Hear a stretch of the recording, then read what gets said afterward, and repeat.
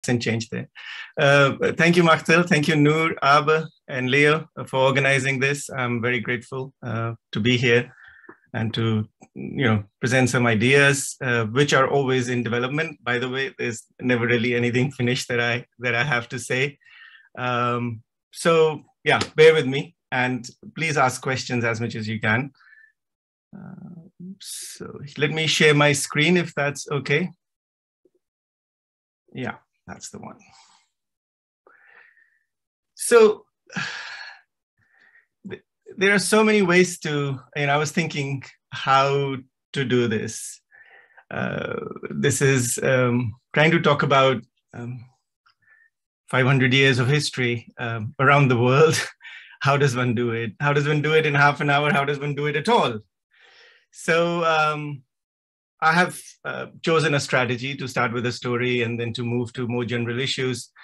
But obviously this can be done in hundreds of different ways. And uh, i hope uh, what i'm going to say is interesting and, and you know uh, thought, thought-provoking in some sense of the word. Um, but equally um, if you see me next time uh, please uh, expect something else because i probably won't say the same thing again. Um, so anyway here we are um,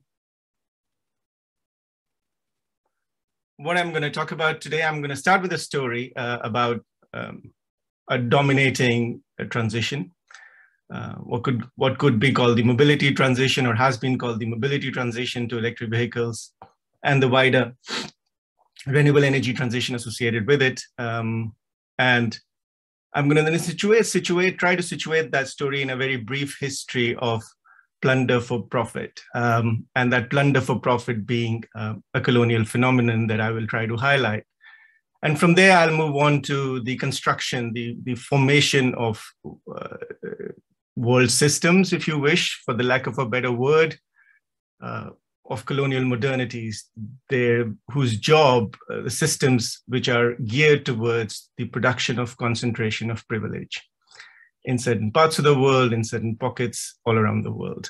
And then I will then talk about, well, how do we how do we transform those uh, world systems, those colonial modernities that have been established and entrenched to such an extent that we don't often see them, we don't often recognize them, um, and you know that's it's also an interesting. For example, I was also thinking perhaps one way to do this uh, talk would be, and I started doing that, but then abandoned the idea. Would be to go look at um, the literature on some literature on regimes and transitions and to see how that literature addresses this phenomenon of you know colonialism that has constituted our world in in uh, incredible ways. And then started looking at how studies have invoked colonialism and how they have uh, addressed it uh, but then gave up the idea because it uh, first of all, there are about a thousand studies that have done that. Uh, you know, it would have been it would have taken me a long time to go through all of them, and then to just present a slice of them, I felt didn't do justice to the various ways in which it has been engaged with. Um, but it was rare to find, even though you know I did a little bit of work, it was rare to find scholarship within transition studies that actually be, went beyond just invoking colonialism a few times, a um, couple of times, sometimes just once by making it integral to the analysis of constitution of regimes.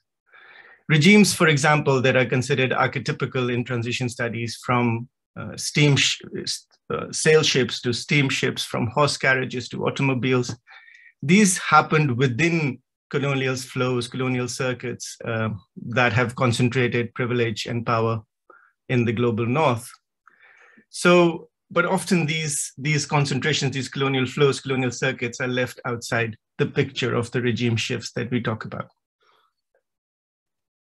Uh, and then finally, in the last part of the talk today, um, I will talk about four uh, ideas of decolonization, again, building upon a lot of literature out there. Um, firstly, anti-racist equality, second, autonomy or territorial sovereignty, Third, epistem epistemic or epistemological disobedience, or one might call it freedom as well. And then uh, finally, uh, ontological plural pluralism that has been addressed through the concept of the pluriverse. And finally, I hope if I have the time, I will end with some examples of different aspects of decolonial ways of living uh, for sustainability. Okay, um, here we go. Wait a second, sorry, what happened to my slides? There's no, is there a title on this slide? Because I can't see it. Uh, yeah, it says white gold. Right, there is a title. Thank you, thank you, Leo. Um, so this is a very large um, lithium mine um, in Bolivia. Uh, it's one of the world's largest salt lands or salt flats or salt pans as they're called. And um, those little rectangles you see in the picture are uh, drying ponds in which uh, brine is drying to produce lithium and different colors reflect different concentrations of lithium in it. As water dries, more and more lithium gets produced. Uh, more and more lithium gets crystallized or lithium lithium, some other comp uh, composition in, involving lithium. It's a lithium carbonate. I can't remember what exactly it is, but it's getting produced there. Now, um, what half the world's sort of uh, lithium reserves are in Bolivia, Chile, and this is uh, the Atacama Atacama Desert in in Chile um, shown from space, by the way, uh, take a picture taken by the European Space Agency. Um, and here you can see drying ponds for lithium again in different colors um, over perhaps thousands of hectares of land. Um, and here, uh, closing the triangle, uh, is Argentina. Uh, and this is the salt pan of the dead man or the dead man's salt pan, Salar del Hombre Muerto. Um, and it is here that I want to tell a brief story from the ground. Um, there is a mine here called the Phoenix Mine, run by Minera del Altiplano. And Minera del Altiplano is a subsidiary of uh, Livent. Uh, Livent is an American, North American company, um, which a couple of years ago, I, I think the, the, their plan, in fact, was to complete this expansion this year in 2022. But this expansion was being planned um, and I think approved by the, the, the government, but was being opposed uh, by the local community uh, uh, who call themselves the Atacam Atacameños del Altiplano. Um, and um, they were opposing it because they were worried about a lot of different things associated with this proposed expansion which would, by the way, double the capacity of the existing mine operated by Minera del Altiplano. So according to an environmental organization based in Argentina, Fundación Ambiente Recursos Naturales, the impact of this expanded mining would include the extraction of 650,000 liters of water being drawn each hour uh, out of the Los Patos River there. Now, the same report added um, that the drying up of plains and rivers, which is to be expected because mining for lithium requires a lot of water, um, is just the tip of the iceberg of an environmental deterioration on the fragile balance of Puna Plateau and the violation of rights of indigenous people and the communities that inhabit that place. Um, and other impacts obviously include uh, agricultural problems when water available, available groundwater for agriculture gets salinated. Uh, so the firm claims that they will only they're only extracting brine from the groundwater. So that means freshwater sources are untouched, but the aquifer is the same. Uh, there is a brine, concentrated brine in, in some part that gets less and less concentrated. And finally, we get to the fresh water. Uh, now, obviously, if you're taking brine out, flows inside will create a situation where eventually, sooner or later, you might find uh, that fresh water uh, gets uh, salinated as well. And um, in any case, drying up of of of of of rivers um, or of pastures or meadows uh, which exist in this area um, are an issue that have been raised by for example, many people, including the local community leader, Roman Guitan, who witnessed large-scale death of trout in his in his region. And thinking about that, he starts to worry about the uh, dispossession, if you, if you wish, of a way of life, not just of land or of water. Uh, now he says that's why we are afraid that the same thing will happen with the meadow, what has happened with the death of large scale death of trout. The meadow where I live, uh, we use it from December to March. It feeds sheep, llamas, vicuñas, ducks, seagulls. It's a beautiful place, he said. If they end up drying that up, we will lose it all. Now, as I said, half the world's uh, lithium reserves are here. So this is um, emerging stories. There's not much research on it yet, uh, but I think it is happening as we speak. And um, the impacts on uh, people living in these communities, which are going to be affected, um, are uh, you know going to be quite devastating. And now, th- this is of course not just about lithium. Um, lithium is part of a big puzzle, obviously, that is required for this mobility transition. There's sand involved. There's aluminum, copper, cobalt, uh, about which a lot of stories from the Congo are also emerging now. Um, that um, that this extractivism that is happening in the name of renewable energy and sustainability needs to be uh, given more attention to, and whether that extractivism reproduces, um, reenacts, if you wish, is reproduction is not perhaps the right term because always things that are done now are quite different from the things that were done in the past, but reenacts perhaps an enactment as a concept allows a little bit of a flexibility and, and friction and um, uh, slippages uh, to be taken into account rather than reproduction uh, allows. So here uh, in this area in the Atacama desert, if it's a big desert, so if you go uh, 900 kilometers north of where Roman lives to to um, the eastern fringe of the desert in Bolivia, there's a town, a desert town called uh, Potosi. Now, Potosi um, used to be famous for um, mining of silver. Has anybody heard of Potosi before? Uh, a lot of the silver in, in Europe um, came from Potosi.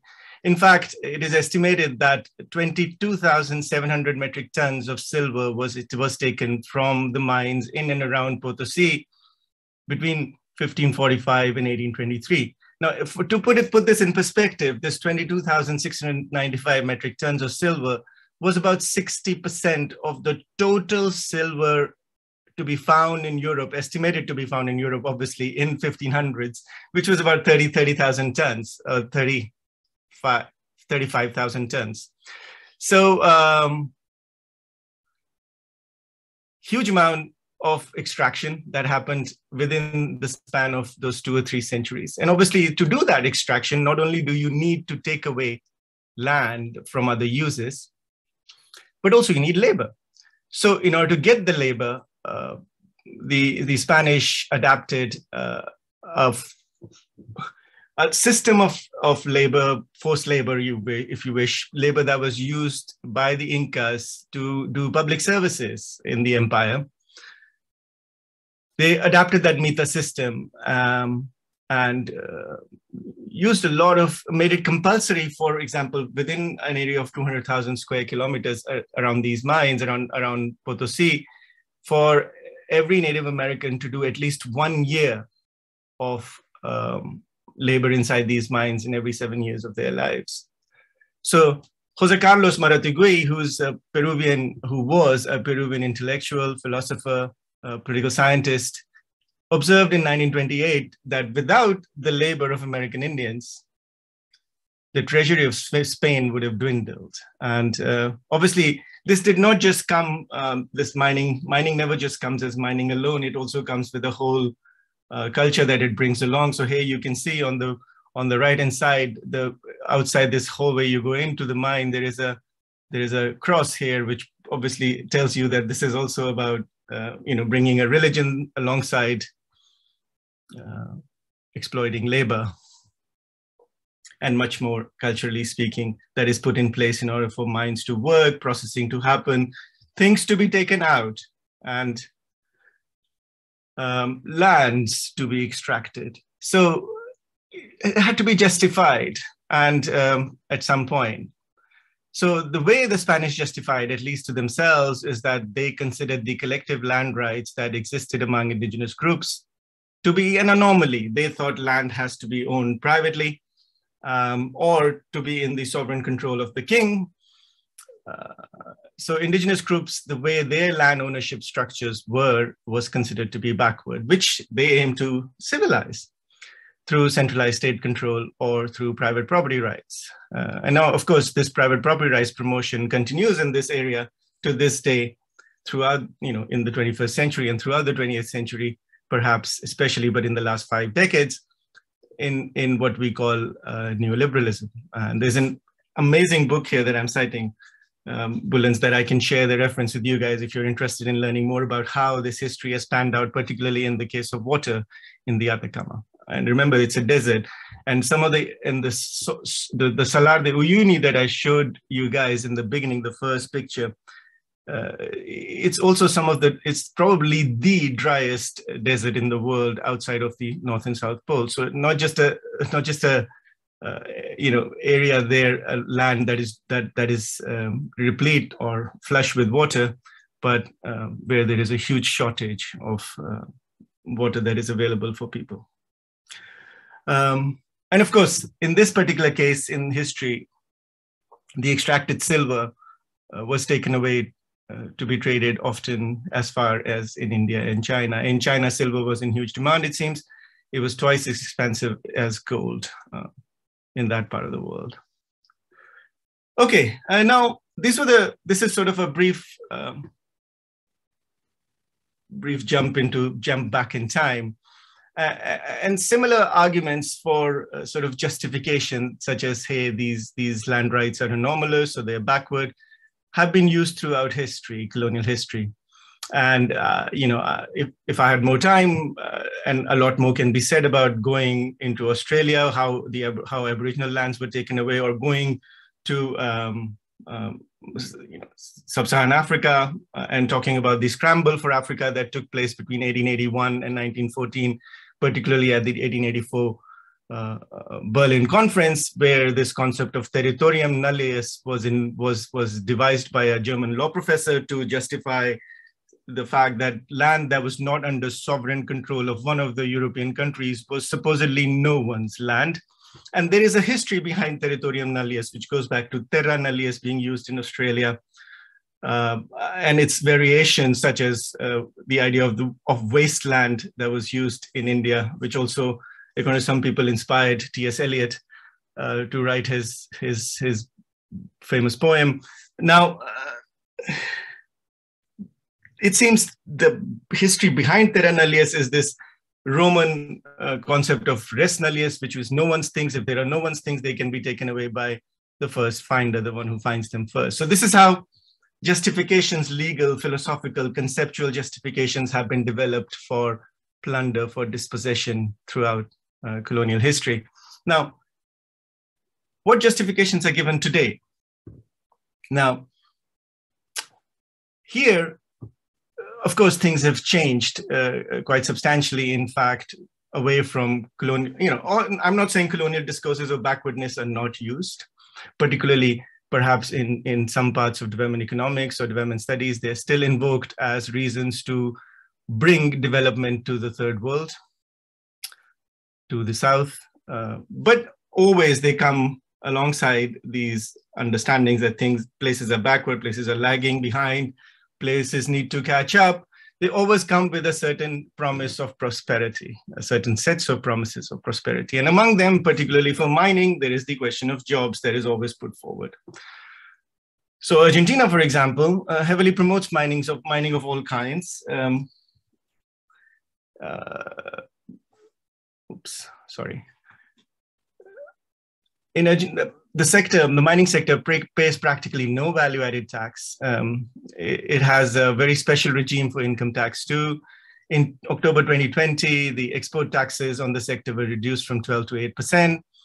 Uh, concessions are given in uh, very favorable terms in different provinces, different states for mining.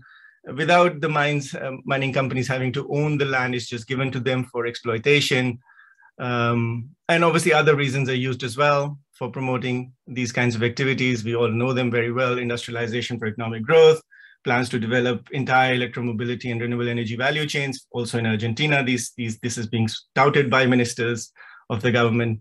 And obviously, we've got the global imperative of, of decarbonization for climate resilience. And even though people recognize that there are these problems that are happening in certain localities in the world, localities that are being turned into sacrifice zones, we continue to justify it by saying this is necessary. This is the price that the humanity, supposedly we are all one, humanity has to pay for, for addressing the climate challenge. Now, in this process, obviously, we know that many alternative decarbonization pathways are marginalized, perhaps to protect um, investments, profits, and I will argue accumulated privilege. Now, in very simple terms, where is this accumulated privilege to be seen? Uh, this is a recent picture from the World Inequality Database. Here you can see average national income in different parts of the world. And obviously the North, it is heavily concentrated inside the global North. But the interesting factor here is the lower part of this picture, where you can see that not much in terms of income disparity, if you overlook China, has changed between countries. The United States continues for the last almost 100 years to be at the peak, and then followed by European countries, not very far behind. And then you get at the bottom a country like Haiti, which has actually seen a fall in the last 100 years or 75 years in its per capita national income. So, um, or at least that's what the graph tells me. Even if it is not a fall, it's practically stagnant. Now, um, this, this same picture can also be seen in the so-called SDG index, uh, which also shows that the top 10 countries that are supposedly most sustainable are in the global north. Now, let's forget about all those other parameters that are used to address unsustainability, such as ecological footprint and all, you know, how much is their carbon concentration, how much biodiversity do they destroy in other parts of the world because of their lifestyles, that's besides the point. This is SDG index saying that these are the best countries. These are what everybody else should be aspiring to become. Um, so obviously you can say that this this this situation right now um, is not just the present. It has a history. Obviously, we've come to this situation where um, privilege is maintained and sustained and is concentrated inside northern countries, northern regions of the world. Uh, and there is a reason behind it, historically speaking, that this privilege has been concentrated. Like the mine in Potosi uh, showed, uh, that uh, cheapened resources, cheapened labor through enslavement, through indenture, uh, indenture after slavery was uh, officially abolished by many empires in the 19th century, has been carried out since the invasion of the Americas in the late 15th century, 500 plus years of history of concentrating privilege. Now, from India alone, according to one recent estimate, at least $45 trillion were transferred into Britain. This is the conservative estimate, according to Utsa Patnaik, between 1765 and 1938. And even the transition scholars, some of them are now mapping modern slavery to be found even today in cobalt mining that is fueling um, you know, low carbon transitions in the north. So this inequality gets reproduced uh, over time and concentrations of privilege get reproduced over time or reenacted, as I said earlier. Um, to make an unequal world in which northern concentrations of privilege are built upon extraction, supremacy, and control directed elsewhere. At the same time, um, this process of extraction, supremacy, and control directed elsewhere uh, as socio-material orders of the modern world, as the processes that build on which the modern world is sustained, maintained, uh, is also done through in the name of development.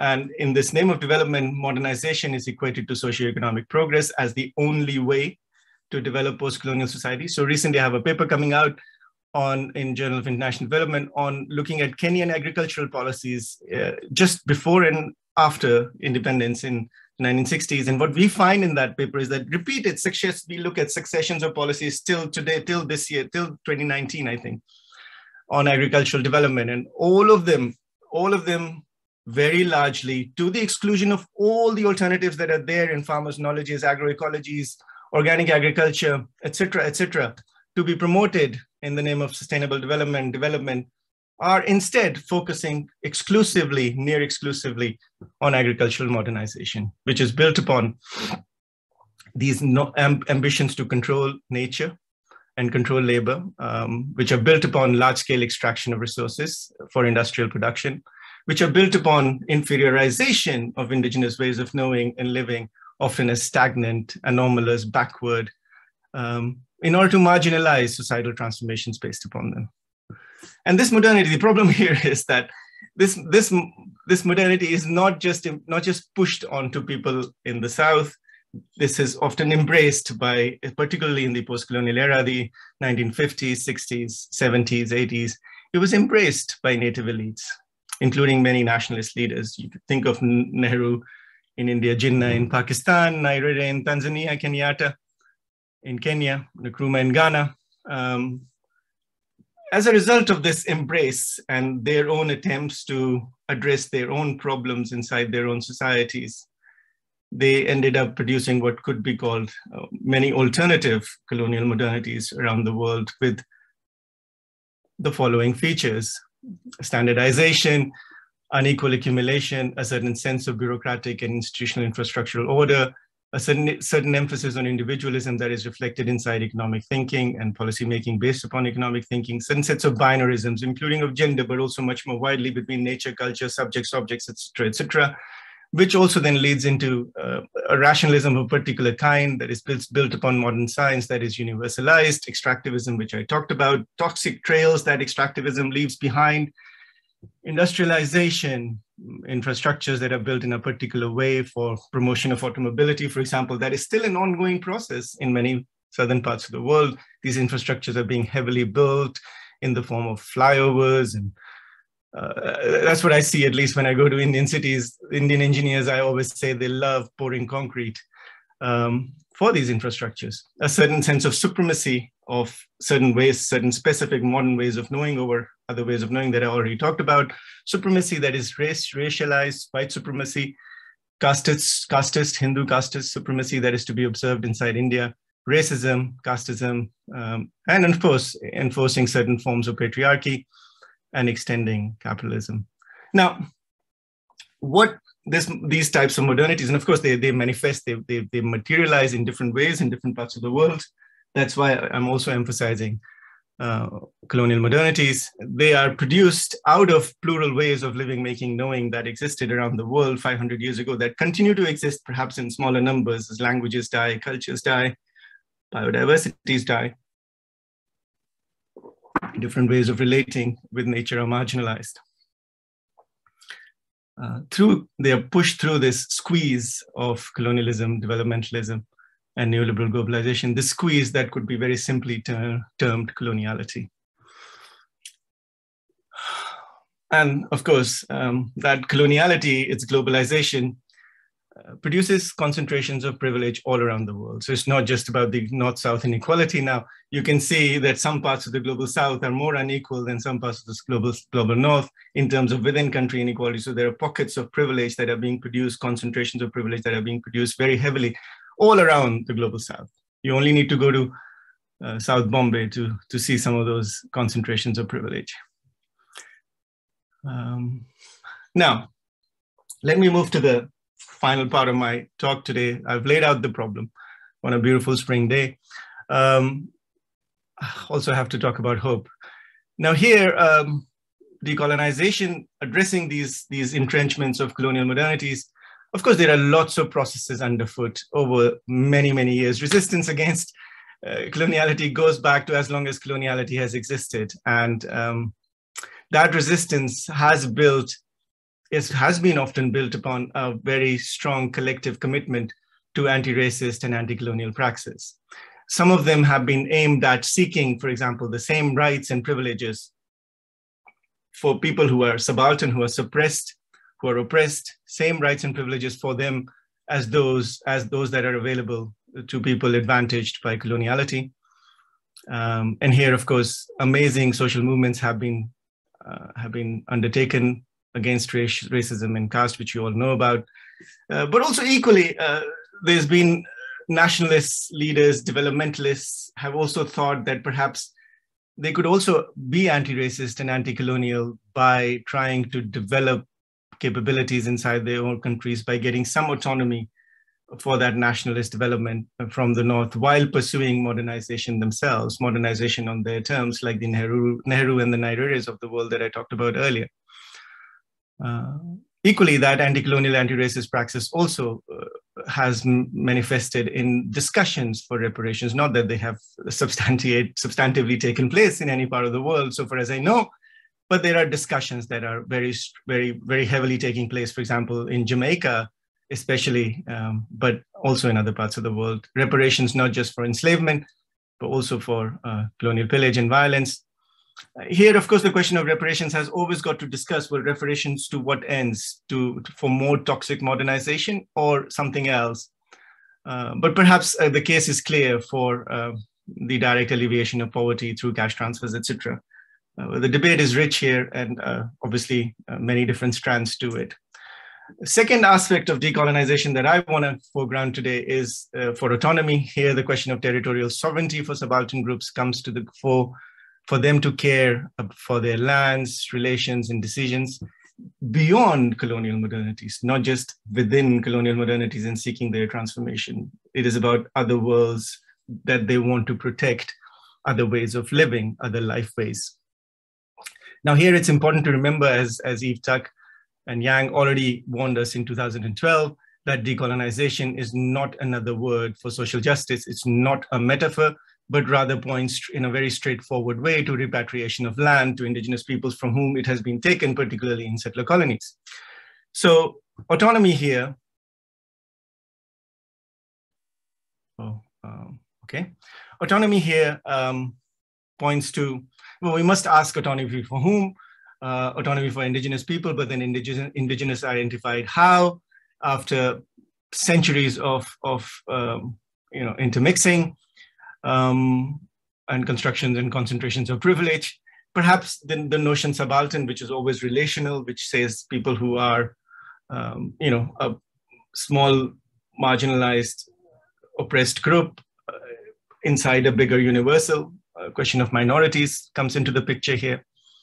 Uh, so for a people there defined ethnically, or perhaps if you follow Gandhi and Ivan Illich, you might say that this autonomy is to be granted or fought for for each individual, each community, and for society as a whole. Uh, so in that sense, this would be constitutive of what Ivan Illich has called conviviality, conviviality that can be then used as a basis for developing multiple quasi-autonomous pathways to sustainability. Uh, also, equally, minutes, Five minutes, thank you. Yeah, uh, you can take five or 10 minutes more, that's fine. I'll try to wrap up in five, seven minutes, thank you. Equally, um, autonomy here can be a quest for grassroots participatory democracy, as has been emphasized, including what has been more, more recently at least made part of law, the law in many countries such as Argentina and Mexico for indigenous people, which is their free, prior, and informed consent uh, over any projects that are taking place in the amidst them. Um, but always remember, remembering here that there's not one, but many, many different approaches to participatory democracy that we all know about.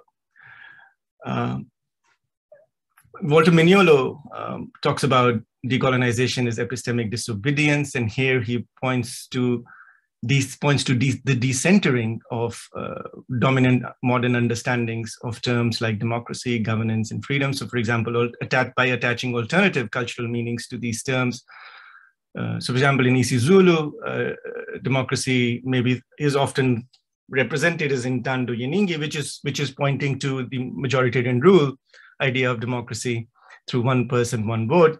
Um, but another understanding of democracy, which a lot of people lament that was not picked up and made dominant, could be umbuso wabuntu. Umbuso literally just means rule, and Ubuntu by the people. But it's not just about rule. Umbuso also points to the good life, like you know discussions on buen vivir, resonating with discussions on buen vivir in Latin America, good life and autonomous living.